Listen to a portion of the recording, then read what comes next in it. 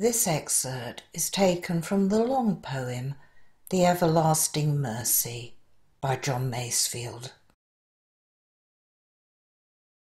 O Christ who holds the open gate, O Christ who drives the furrow straight, O Christ the plough, O Christ the laughter of holy white birds flying after.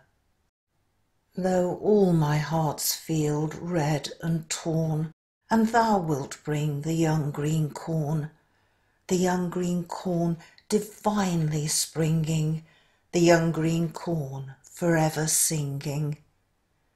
And when the field is fresh and fair, thy blessed feet shall glitter there.